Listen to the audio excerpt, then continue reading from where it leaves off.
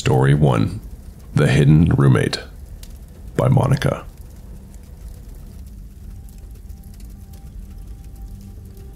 I went to a pretty big university, and during my sophomore year, I moved into one of the older dormitories on campus. It was one of those buildings with long, dimly lit hallways and creaky wooden floors. I always joked that it looked like something out of a horror movie, but little did I know. My roommate, Jenna, and I got along pretty well. We weren't best friends, but we respected each other's space and had a good system going. One night, she told me she was going home for the weekend. Cool, I thought. I'd have the room to myself. That Friday night, I was up late, binge watching a show on my laptop with my headphones on. Around 2 a.m., I decided to call it a night. As I was about to close my laptop, I heard a noise. It sounded like the door creaking open. I figured Jenna might have changed her mind and decided to come back. I took off my headphones and turned around, but no one was there. The door was slightly ajar, which was weird because I distinctly remembered locking it. I shrugged it off, thinking maybe I'd forgotten. I went to bed, but I felt uneasy. You know that feeling you get when you think you're being watched? Yeah, that feeling. I tried to forget about it, telling myself I was just being paranoid. But then I heard it soft, deliberate footsteps. They were coming from the direction of our closet. I froze, holding my breath in fear. I thought about calling out, but something told me not to. The footsteps stopped right next to my bed. I could hear someone breathing, slow and heavy. I kept my eyes shut tight, praying they'd just go away. After what seemed like forever, the footsteps retreated, and I heard the door creak open and close again. I waited a few minutes, trying to gather the courage to move. When I finally did, I turned on all the lights and checked the room. Nothing was out of place. The closet was empty. I locked the door and pushed my desk chair against it, just in case. I didn't sleep a wink that night. The next morning, I reported the incident to campus security. They did a sweep of the building, but found nothing. They suggested maybe it was a drunk student who'd entered the wrong room, but I knew what I'd heard, and I knew it wasn't Jenna. She confirmed she hadn't returned that night. A few days later, the RA called a meeting for our floor. Turns out, I wasn't the only one who'd had a strange encounter. Two other girls down the hall had experienced something similar. They'd heard footsteps and felt like someone was in their room. But the creepiest part, one of them found a small, makeshift bed in the back of her closet, complete with a pillow and a blanket. Someone had been living in our dormitory, moving room to room. Campus security increased their patrols, and eventually, they caught the guy. He was a former student who'd been living in the dorms undetected for weeks. He'd been sneaking into rooms, watching students as they slept. It's terrifying to think about. I moved out of that dorm shortly after. I couldn't shake the feeling of being watched. Even now, years later, I always double check my locks and closets before going to bed. You never know who might be lurking around.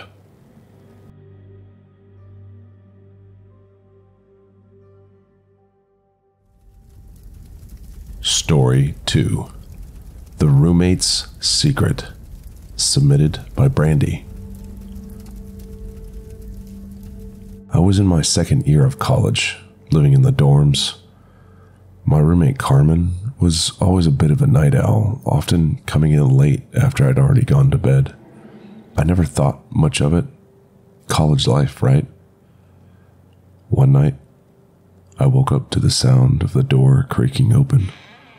I figured it was Carmen coming in late again, but when I glanced at my phone, it was only 1 a.m., a bit early for her.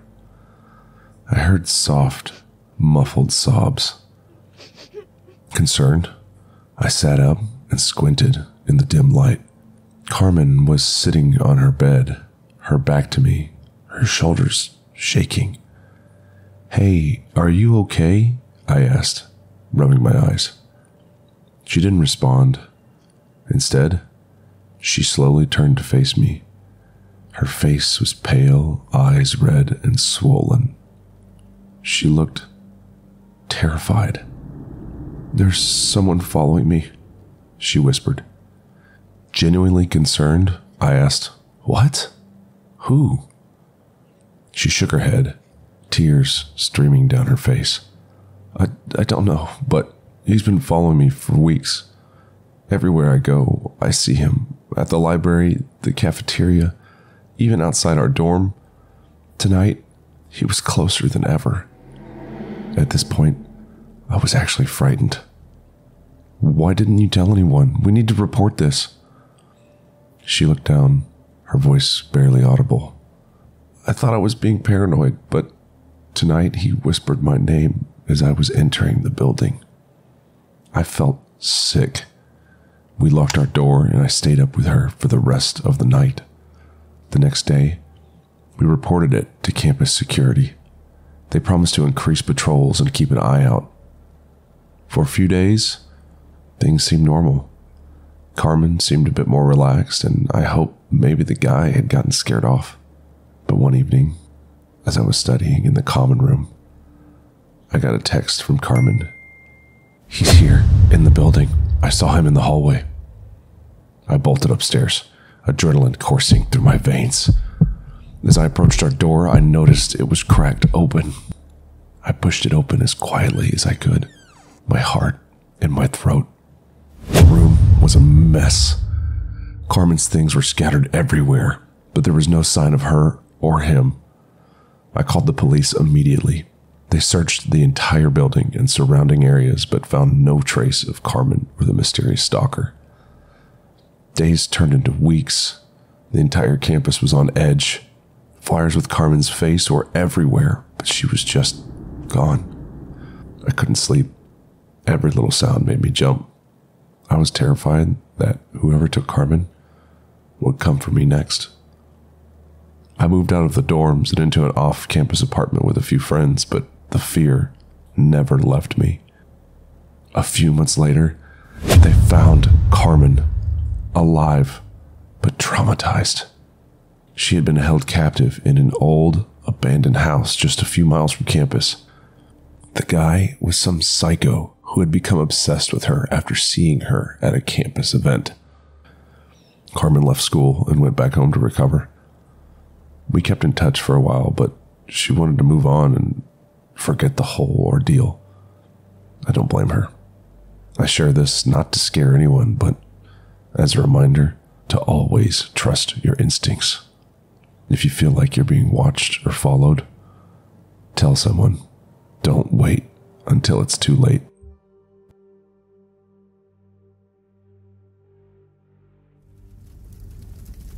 Story 3 The Dean's List.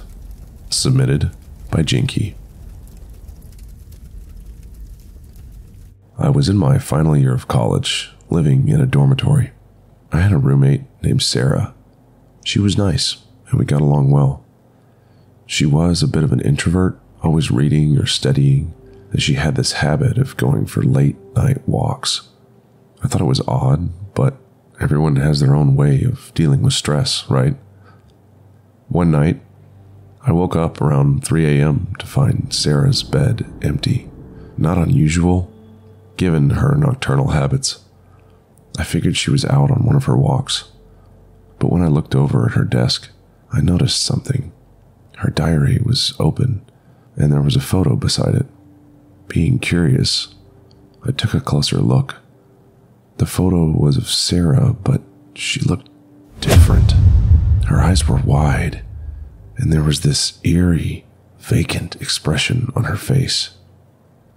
She was standing in front of a dilapidated building, which I then recognized as the old, abandoned dorm on the far end of campus.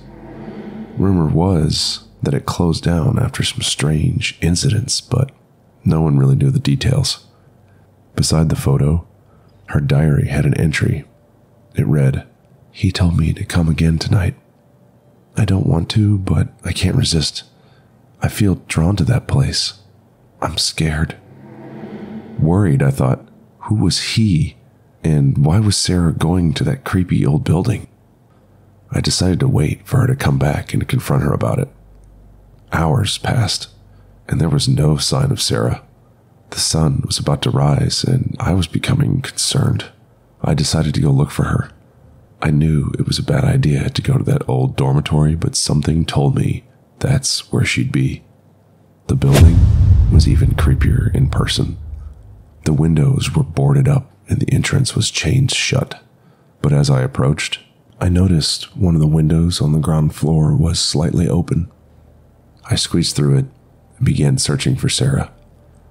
The place was a mess broken furniture, graffiti, and a thick layer of dust everywhere.